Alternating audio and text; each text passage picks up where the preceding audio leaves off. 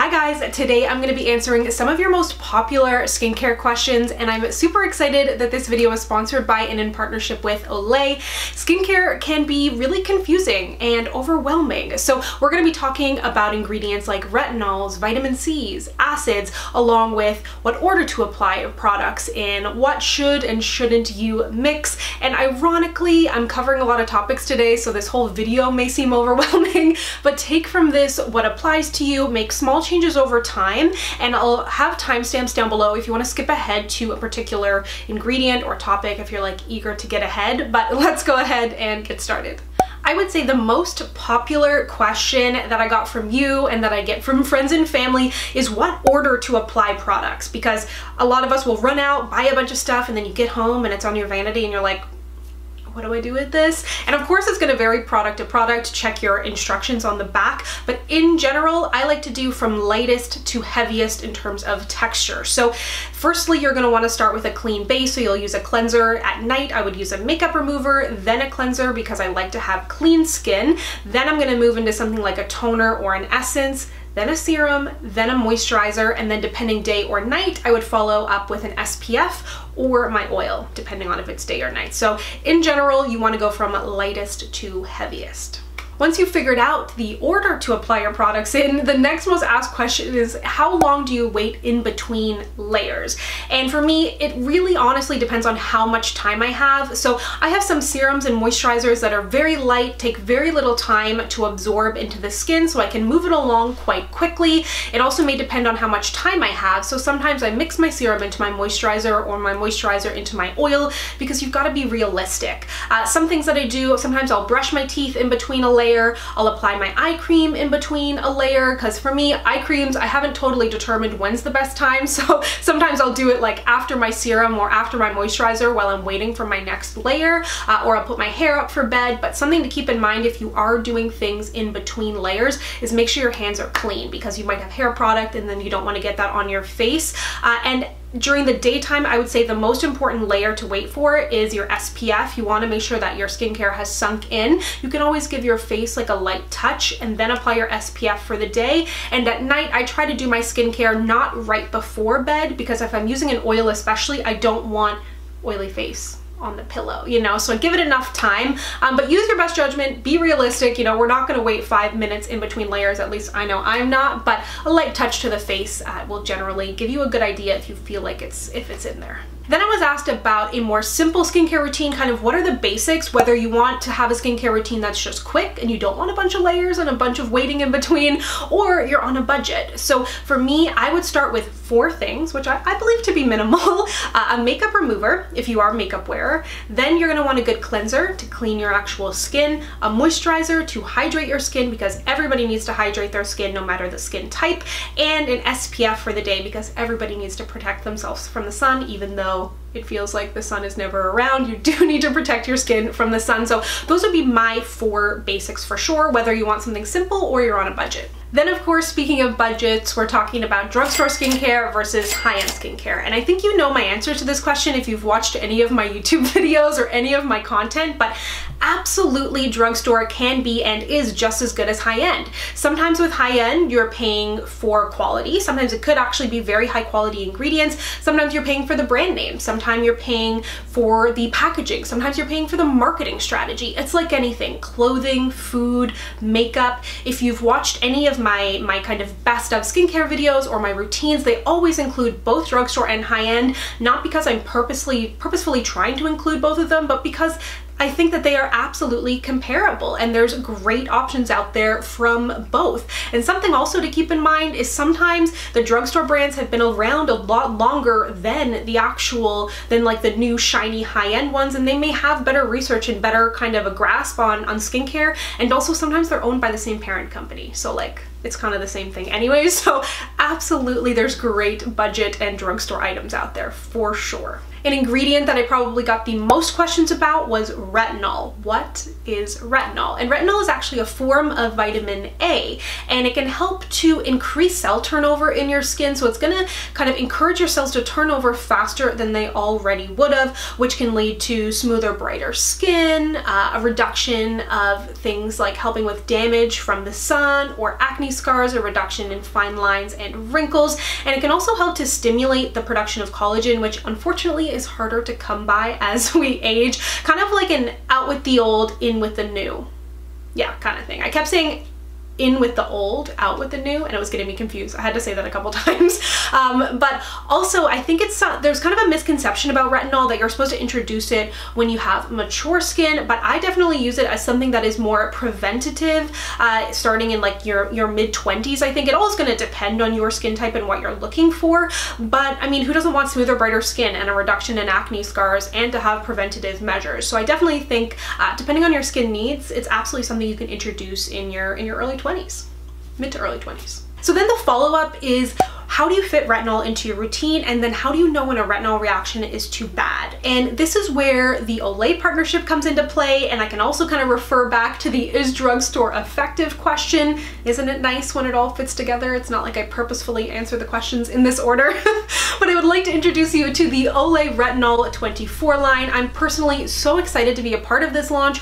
Olay is a brand that I remember seeing in my household as a child and currently, you know, in the present, you've heard me talk about the Whips line and their eye creams and it's just super super exciting for me but what's exciting for you and for me is to have a great option that is readily available and also affordable. So I've actually been testing this out behind the scenes and I am super impressed. I am blown away and I'm really glad I had some time to actually test it out so I could give you some real insight but firstly I've definitely noticed my skin looks smoother, it looks brighter. I've noticed an improvement in things like texture and tone of my skin. I am working on some some texture on my chin that I've had forever, along with a little texture on my forehead.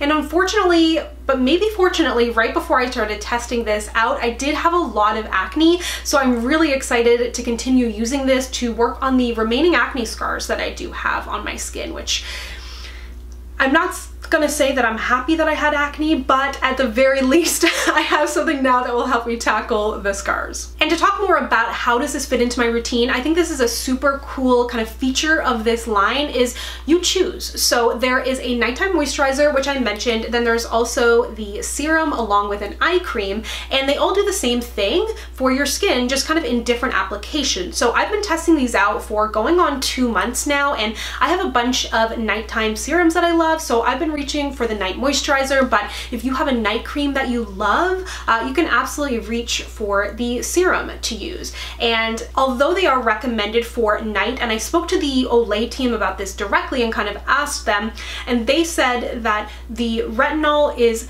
Technically, like you can use it during the day. It is recommended for night use, but it's because retinol as an ingredient has photosensitivity to the sun, so it degrades in the sun. So of course you should be wearing your SPF either way, whether you're using a retinol or not, but that is why it's recommended for nighttime use. Probably the number one thing stopping people from trying retinol is the, the sensitivity. People are afraid of having a sensitivity to it or a reaction to it. And if you Google retinol, it is nightmare fuel of peeling skin, redness, like crazy sensitivity. And even if on the other side of that you end up having amazing skin, that to me feels unnecessary. It looks painful. And with any retinol, you want to read the label, follow the instructions, of course, um, but unless it's recommended by a derm and you know that these reactions are supposed to happen, how do you know that your skin is going to look good on the other side of it and that you're not damaging your skin in the process? Because I don't want that. Like, I don't have time to have like a bunch of red peeling skin in the hopes of hopefully having like good skin on the other end of it. So the Olay Retinol 24 line is actually formulated without fragrance, dyes, or sulfates, which are all known irritants to the skin,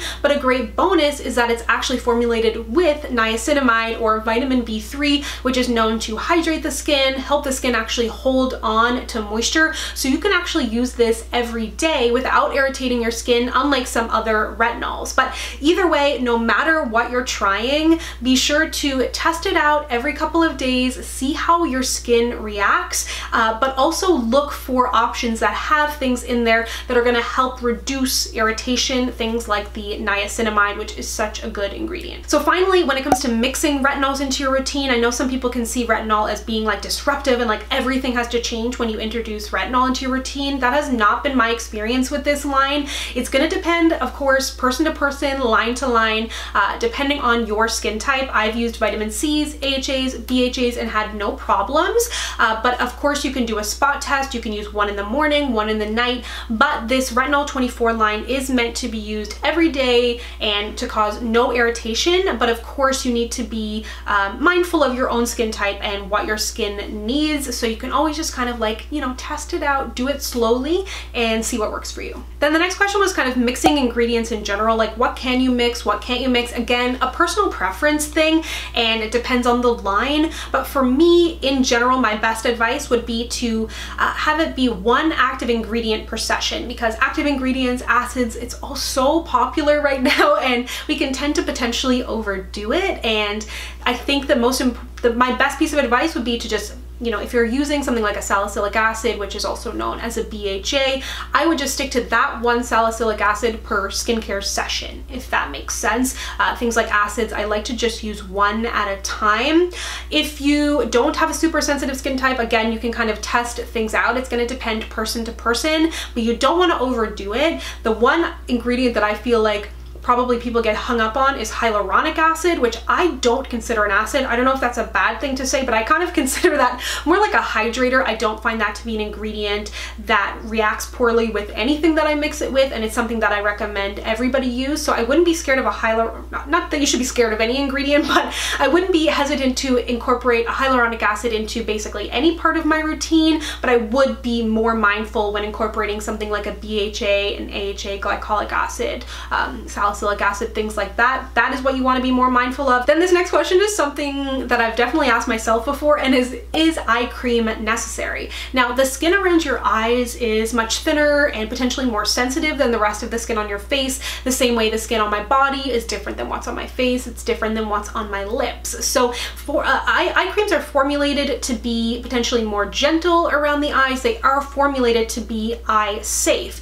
But if you don't have any skin concerns around around your eyes and you feel like, you know, things are looking good, then, you know, you can save yourself a few dollars there. But if you do feel like you have darkness or fine lines or you are looking to treat something there specifically, I personally would use an eye cream there over something else. Something actually that I thought was interesting about the um, Olay Retinol 24 eye cream is it form it's formulated to actually stay put around the eyes, which I had never heard of that. So I thought that that was pretty interesting. So it's definitely, you know, like anything, up to you not 100% necessary, of course, but if you are going to use something around your eyes, I think it would be best to use an eye cream. So this next question is something I'm very passionate about, and that is the best ingredients for oily skin. And I am on a crusade for everybody with oily skin to hydrate it. I spent years stripping my skin with a lot of ingredients from the kitchen, things that probably shouldn't have been on my face, but something that's so important is to hydrate oily skin. So, you know, I talked about hyaluronic acid a million times.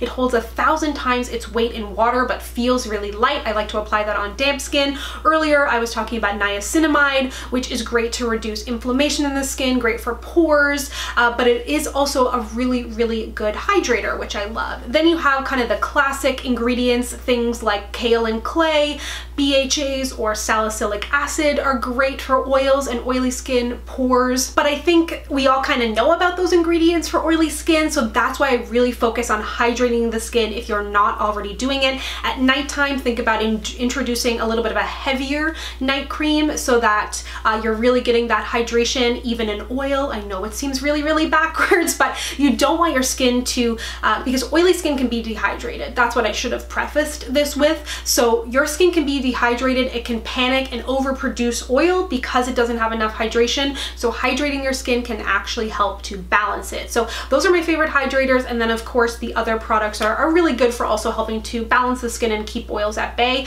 Um, but it's about, you know, finding that balance. Let me say it for the third time. So the next ingredient I got lots of questions about was vitamin C. What's it good for? How do I incorporate it into my routine? So vitamin C is something that's actually found in your in your body and in your skin, but of course as we begin to age we produce a little bit less of it and things like environmental aggressors can affect it as well. So the same way you would take or you know consume antioxidants for your body, things like a topical vitamin C can help you fight off those aggressors, helps with um, any kind of darkness, age spots, just overall kind of tone and brightness of your skin and I think it's something that anybody can use uh, no matter your skin type or level of sensitivity. And it can really help with the uh, kind of dark spots on your skin and attack those without changing the overall uh, pigmentation of your skin which I think was interesting I found during my research. But as for where do you incorporate it into your routine uh, unlike a retinol vitamin C is actually best used during the day and then you can choose you know a serum or a moisturizer whatever it is that kind of fits best for you. For me personally I tend to like vitamin C serums. I don't know why, but that, that's generally what I tend to go for when I'm looking for something with vitamin C. Then of course a hot topic ingredient is AHAs and BHAs. An AHA for example can be a glycolic acid. These work more topically on the skin. They work on the surface level which is not a bad thing because that helps with the texture of your skin, the smoothness. Something like a salicylic acid which is a BHA gets in there a little bit deeper and helps with things like uh, in your sebum or oil glands, your pores. So that's why you see so many people using salicylic acid for uh, oilier skin types. And I love both of these ingredients. They can be intense. So that is something to keep in mind, especially with the percentage levels. Some glycolic acids and, and BHAs, AHA blends can be up between, you know, 20, 30% depending on the product. Those I would definitely recommend for a more advanced user. It's gonna depend again if you have sensitive skin, but I've seen great improvements in texture, in oil production from introducing these ingredients ingredients into my routine. So I definitely recommend them, but uh, like anything, just be mindful of what you're introducing and, and start with something a little bit on the, on the lower scale when it comes to the percentage. Onto face masks, how often should you do them? For me, it kind of depends. Sometimes I reach for them when I want to just kind of be like, you know, have like a self-care moment. and sometimes I reach for them when I feel like I want to treat something. So it's really going to depend on the mask, on your skin's needs. I kind of play it by ear. When it's around that time of the month, I'll reach for masks that have charcoal and kaolin clay to help with any kind of uh, breakouts that I might have. If I'm seeing a lot of texture, I might reach for a mask with glycolic acid in it because these are treatments. They're gonna be a little bit more intense than a product you would use every single day. And then during the winter, I also find myself reaching for like overnight hydrating masks to give myself a little bit of a boost. Um, but yeah, I would say I use a mask maybe two, three times a week. Really depends on how busy I am, how much time I have, and the, the condition of my skin. But yeah, I would say probably two or three times a week is what I do. Then my final question was, how often do you change up your skincare and do you change it per season? Admittedly, I definitely switch up my skincare probably more than I should due to the nature of what I do, but I do try to I do stick to, I do try to stick to um, the one active ingredient per session for the most part, and I try to keep it in the general same area. So for example, if I'm, I like to use in the daytime a vitamin C serum and then a hydrating serum, so I may use the same grouping of the two of them for a couple days, then switch to the next one. Not ideal, but for me, I see skincare as well as not only something that can help improve my skin, but me time. I'm a product junkie. I like to switch things up, so I have to be realistic. Of course, it is best to stick with something straight, but if you are gonna switch it up, just try to be careful. Try to only swap out one product at a time if you're doing it in your routine, because that way you can also see if the product that you are now no longer using was affecting your skin, if the new product is affecting your skin, because if you swap out all of your products, then you can't tell what's really working for you or what's not working for you, if that makes sense. So kind of use your judgment, but I try to do like one swap out of a product at a time. And then when it comes to seasons, I do switch it up. So especially if I'm wearing makeup during the summer, I'm gonna go for lighter hydrating products, moisturizers, etc. And then in the wintertime, I do like to bump up my hydration, especially since I moved to Toronto. I find myself using heavier night creams and oils, uh, especially during the wintertime at night to give myself that little bit of a boost because it is dry here. So I'm gonna stop here. I've covered a lot. Let me know if you enjoyed this. I personally really enjoy chatting about skincare. It's something I've become really, really into over the past like two or three years. And if you would like to check out the Olay Retinol 24 line for yourself, it is available wherever Olay is sold, which is basically everywhere. I'm gonna continue testing out the line so that I can show you my progress. Of course, I have been documenting that behind the scenes. And if you'd like to learn more about the Retinol 24 line, it's of course uh, all available in my links down and on olay.ca. But thank you so much for watching. If you'd like to connect with me, you can find me on Instagram, Twitter, and Facebook at Samantha and I'll see you guys next time. Bye!